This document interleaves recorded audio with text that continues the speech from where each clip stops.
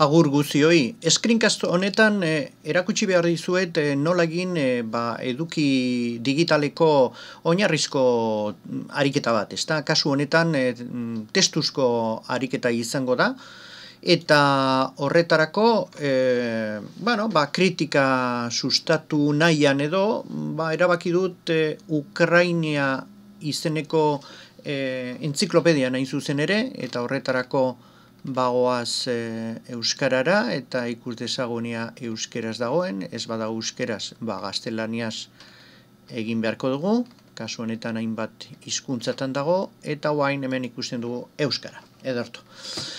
Euskarazko sarreran jartzen gara eta kontua da, ba, e, erabiltzea testu prozesatzailea, horretarako LibreOffice e, erabiliko dugu, da kasu honetan Open Document bat sortu beharko dugu. Esan bezala, ariketa honen helburua da, zelan bait, e, gai bat emanda, kasu honetan, Wikipediak daukan e, Ukraina izeneko sarrera hori irakurri, eta e, ez sortzea edo ikustea salantzazkoa den daturen bat.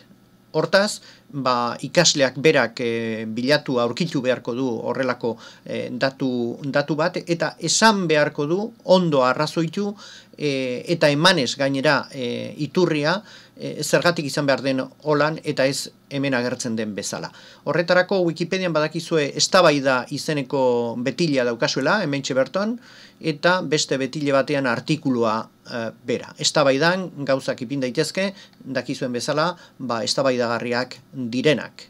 Artikuloa hemen dago, eta e, ez da e, gaztelaniazko bertsioan dagoen artikuloa, askoz e, laburragoa da, eta baina kontua da e, bilatzea beraz zalantzazko mm, datu bat. Ikus dezagun nola egiten dugun eduki digitala, kasu honetan ariketa eta e, testuala. Horretarako LibreOffice, esan bezala, eta e, goian niri gustatzen zait horrelako zerbat e, jartzea, bueno, azaldezadan zelan egiten den, normalean e, taula bat sortzen dut, holan, eta hemen e, ipin daiteke esate baterako e, deitura, deitura eta izena eta hemen kalifikazioa. Kalifikazioa. Bueno, hau mugitu alda, dakizuen bezala, ez dago problemarik, erresa da, eta espazio hau utziko dugu, hain zuzen, lauki honetan, lauki zuzen honetan, e, ba, kalifikazioa sartzeko. Irakasleak hartzen duen kalifikazioa edo e, peer-to-peer ebaluazioa egin ezkero, ba, beste ikaskide batek egindakoa deitura. Eta kasu honetan, bueno, ba, e, kendu egingo dugu egin dugunaz, e, ezabatu egiten dugu hori, deitura eta eta e, hor koloreak aldatzeko, e, bueno, hori erresa da, normalian atzeko planoaren kolorea alda daiteke, ipin daiteke horia, e, orain ikusten dugun bezala, niri gustatzen zait gris e, apala, e, tikia apala, edarto, e, deitura eta izena kalifikazioa, hori e, jarri eta gero, e, ariketa edo ikaslana zertan den. Eh? Ipini behar dugu, zeri, zer egin behar duten argiro ikus dezaten ikasek eh, testu digitalean, nahi zuzen, eh, zer eh, jarri behar den. Horretarako, eh, onako testua jarriko dugu, erraza, eta eh, kontua, zalantzaz, zalantzasko daturen bat daturen bat e, topatzea da Wikipediak Ukrai, Ukraina izeneko sarreran. E, ez garria den datua arrazoitzeko arrazoitzeko ba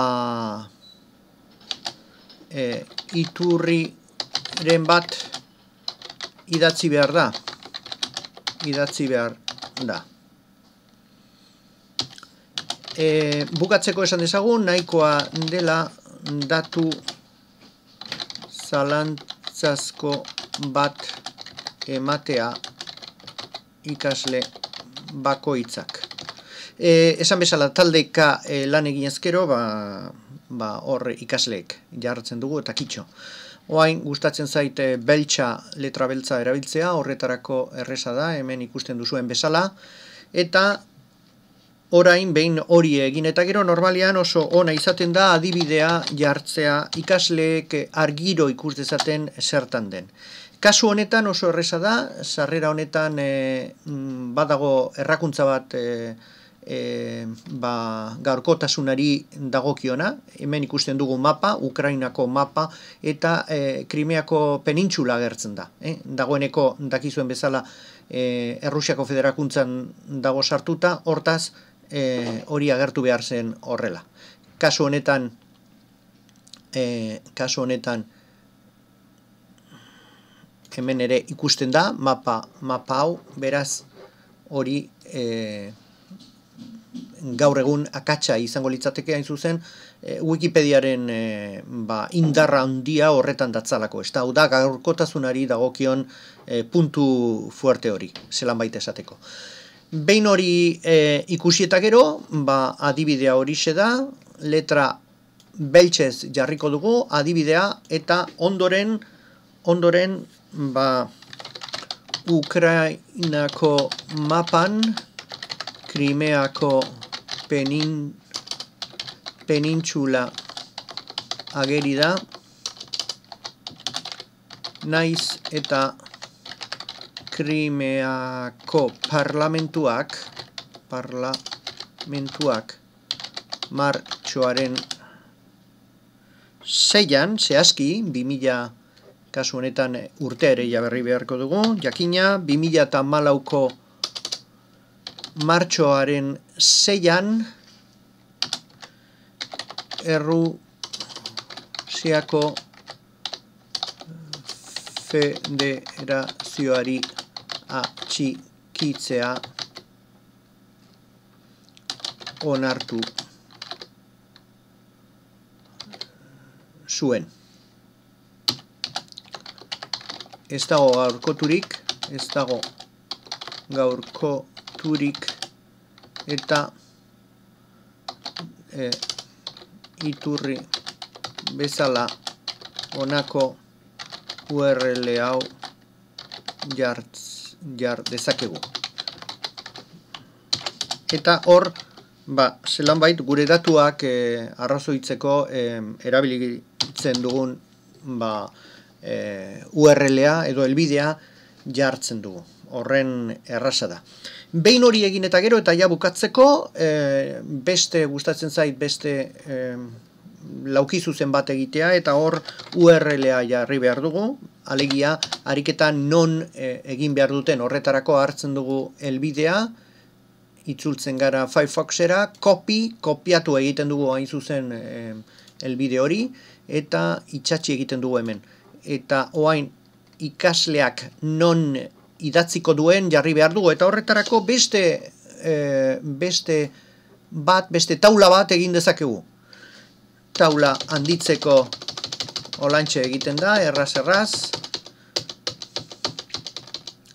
Eta behin amaitu eta gero, azkeneko puntuan, hause izango litzateke beraz eduki digitala, testuala, kasu honetan, e, ariketa bat jarriz, e, ba, ikasleen e, kritika gaitasuna e, zelan baita e, sustatzeko eta suspertzeko e, PDF formatura e, bihurtzeko mm, PDF formatu, formatu gisa eukiko dugu laster eta horretarako hemen ikusten dugu esportatzeko zuzenean PDF gisa, klik egiten dugu, gorde egiten dugu, Ukraina e, bezala euskaraz eta utziko dugu hemen maigainean ikus dezagunea hemen bertan dagoia PDF-a. Eh?